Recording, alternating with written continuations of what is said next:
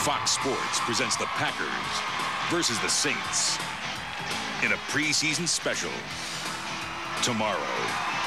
Live. Regular season action of Fox NFL Sunday premieres September 4th. The NFL on fire!